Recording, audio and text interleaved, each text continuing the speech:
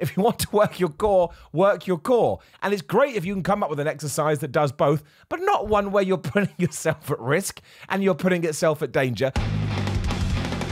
Simon Borejo here. Thank you for joining me as always. And today's video is all based on people that have sent me DMs over Instagram and Twitter at Simon316 saying, Simon, I've seen this exercise. Should I do it like this? Simon, I've seen that exercise. Should I do it like that? And because I know how audience retention works, in my very humble and stupid opinion, the best exercises are the simplest ones. The best exercises are the ones that have been doing since the olden times. I mean, there's always variations that are going to help, but I will say, and we'll get into this in a little bit, a lot of these new stuff that have come out of the closet is just because TikTok is doing them. And the only reason TikTokers are doing them is because they think it looks cool. So, yes, basically, here's seven worst gym exercises that I don't think you should be doing. Number seven is curling in the squat rack. Now, this is a very boring stereotype when it does come to the gym, but apparently some people still don't understand it because when I go to the gym, I still see it. And yes, I had a DM the other day from someone saying, Simon, what is so wrong with this? So I thought, I'm just going to keep it nice and simple. You don't curl in the squat rack because on mass, most gyms don't have a lot of squat racks. So if somebody wants to do squats or an exercise of that ilk and you are curling in there just because you can't be bothered to pick a bar up off the floor, well, it's just bad. It's poor form, it's poor etiquette. And also, how lazy are you? You're in the gym where you're meant to uh, have a load of energy and you're meant to be pushing yourself, and you don't want to have the bar here because the bar must be here. That is absolutely redonkulous. Don't do it ever. And then number six is the front raise or the front shoulder raise, whatever the hell you want to call it. And that's probably going to surprise a lot of people because you can find a ton of workouts on the internet. And when they do get to shoulders, they're all like front raise, front raise, front raise. And it's not a bad exercise. You can absolutely do it. And of course, it will work your deltoid in the way that it's supposed to. But the reason I think it's absolute, tra- not trash, that's not fair. But the reason I wouldn't do it is because most guys and girls that are going to the gym and lifting are already overtraining that front delt, right? They are. Mostly because they're doing a lot of push exercises, a lot of bench presses, a lot of chest exercises when that kicks into gear. So when you get to shoulders and you're trying to focus on them, you're ignoring your side delt and you're definitely ignoring your rear delt. And you only have so much time you can go to the gym. So if you have dedicated one exercise period to working your front delt when there's no need to, well, again, there's just no point. Now, of course, if you look at yourself and think, oh my gosh, my front deltoids are actually looking kind of crappy, well, then of course you want to work them. But by and large, that's not the case. In fact, they're overdeveloped in most guys in terms of when you look at the shoulder muscle, I can't think the right word, this is shoulder muscle in general. And that's why you should focus your time in other areas when it does come to your deltoids and things of that nature. I'm not saying you can't do it. Again, absolutely do do it. But I bet, in fact, I almost know that your rear delt is like some poor kid after soccer practice when their mum hasn't turned up to give them a lift home they ain't even thought about. And number five is the Svend press or the standing push press or something like that. And I'll hold my hands up and go, I have never seen this before in my life. I mean, if people have been doing it in the gym, I haven't been paying attention because, again, when I am in the gym, I'm only focusing on myself. But as you can see, it's essentially where you hold a plate together with your hands and you push it out in front of you before bringing it back in. Now, if you are going to do this lying down in order to work your chest, I kind of get it. Why you wouldn't just do a normal dumbbell press, I don't know. I totally believe this is a exercise that has been overthought because someone has gone, well, you know, if we can do it with dumbbells, why can't we do it with a plate? And sure, you can do that. But unfortunately, what I see mostly after I did research it, was people were doing it standing up. Now, I can't really show this to you at the moment because I had to have surgery, etc. But if you're laying down and doing this, at least you're probably going to be working your chest. But as soon as you stand up and you have two weights, even if they're 2.5 kilograms, and you push them out like this, gravity is going to start kicking your ass. And when gravity is going to start kicking your ass, your arms are going to be engaged, your shoulders are going to be engaged, your traps and your back are probably going to be engaged. So all of a sudden, it's not a chest exercise. So I suppose if you're doing like an overall body workout, you may be able to get away with this, although I still think you're walking a very fine tightrope where you could get injured depending how much weight you're using. But if you are focusing on your chest, what are you doing this for?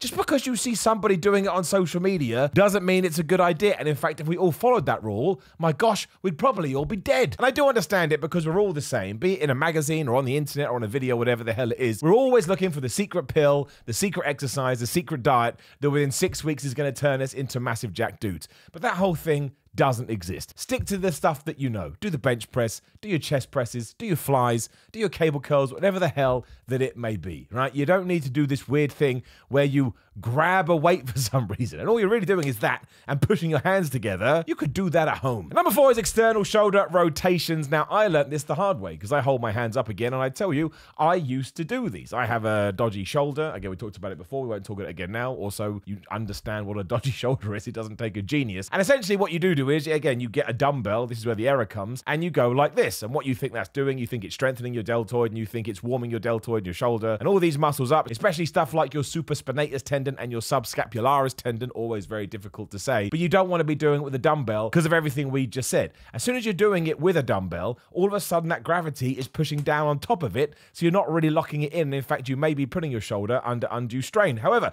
if you do it on something like a cable machine, when you don't have to worry about gravity, then it is absolutely a brilliant exercise. And I'm always doing some form of rotation before I do any kind of push movement, because again, I'm so worried about my shoulders.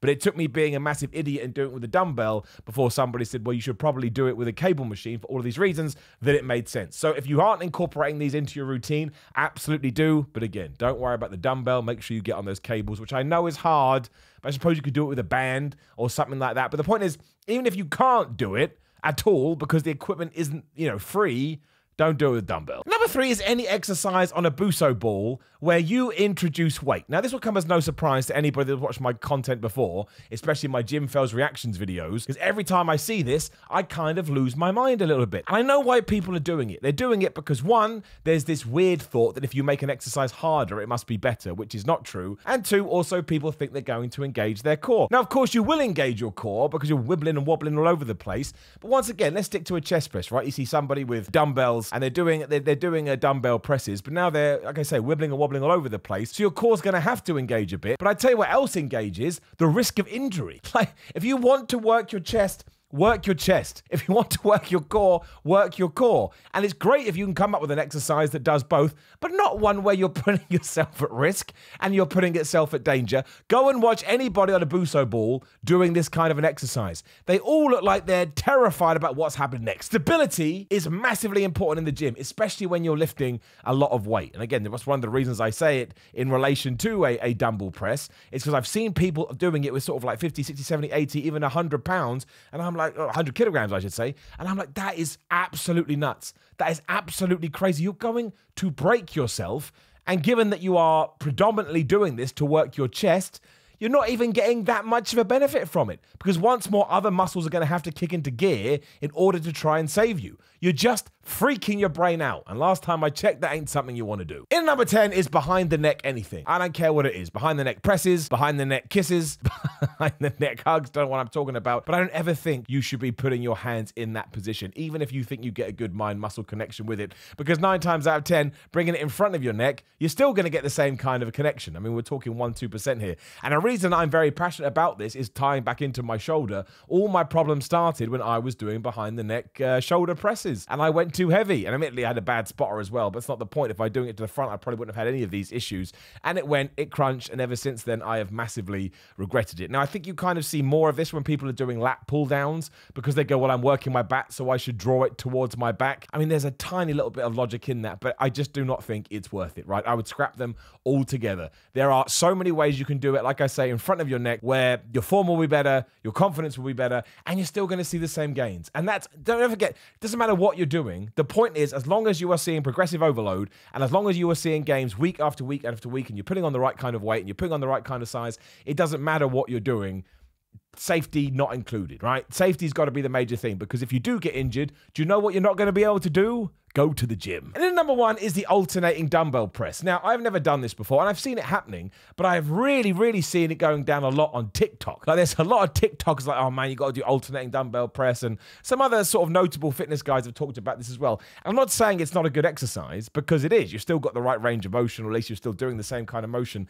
But I think my problem with it is when you have one dumbbell up in the air and you have one dumbbell down here, or vice versa, whatever the hell you're doing, the one that isn't doing the motion at the time just puts your body once again under a tremendous amount of strain. And I get it. You could argue there's time under tension there because you know I'm holding it and I'm squeezing it. But do you not think other elements of your body are going to kick into gear? Because it's probably going to go, well, I feel off balance here and I don't think I want to tumble over. So let's engage everything. And also, I do not understand the benefit of doing this over doing this. Like, I just don't. And again, I've never tried it. So maybe I should be shot out of a cannon for sort of just coming in here. But I'd love to hear, quite ironically, the alternative. And I would love to hear the science behind it. And I did do a lot of reading and to me, there's just no benefit apart from again that maybe you drop one of these weights because you lose your strength or you lose your you lose your footing on the hold or something like that. I just wouldn't do it if I were you. And I also think because you are spending 50% of the exercise just holding one of the weights in place, you're probably not going to smash out as many reps. Now, I don't want to contradict myself. You know, if you're doing 10 alternating dumbbell reps and then the next week you do 11, that still counts as progressive overload. So you're heading in the right direction. But I tend to believe that if you just did normal dumbbell presses with the same amount of weight, you could probably get up to 12, 13, maybe even 14 reps. And so next week you may be able to up the weight and so on and so forth. I just find it very strange. And I think because the chest is such a popular exercise, especially on Mondays when people go to the gym, they're always thinking, well, I've got to think outside the box and I've got to do this. You don't have to do that. Uh, why do you think the bench press has been around for so long? Because it's a good compound exercise that will not only hit many elements of your chest, but it will hit your stable muscles around the, the same area, which again will allow you to lift more down the line. So I'm certainly not saying for you not to do that one, but if you never tried doing it normally, maybe now's the time. Now, please do like the video, share the video, and subscribe, get the bell ding ding so you know other videos going live. There is another video on the screen. Please do give it a click. Write down those comments. Write them there. Do whatever you want. I don't care. YouTube just loves comments, so give me as many as you can. If you disagree with me, disagree with me. Call me an idiot. It's all good. Gorillamind.com forward slash Simon. There's a sale going on right now, so you can go on there get all their pre-workouts for, I mean, usually 10% off, but a little bit more now. Make sure you check it out. In Greg Doucette's Power 13 cookbook. All the information is in the description below. Just code Simon50 to get 50% off. Almost said to get Simon off. That would be really, really weird. At Instagram and Twitter on Simon Miller316. Patreon.com forward slash Simon Miller316 if you want to support me that way. Simon.bigcartel.com for merch. I'm on Cameo. If you'd like a Christmas cameo, I will get that done for you. But otherwise, be smart in the gym, be safe, and I'll see you soon.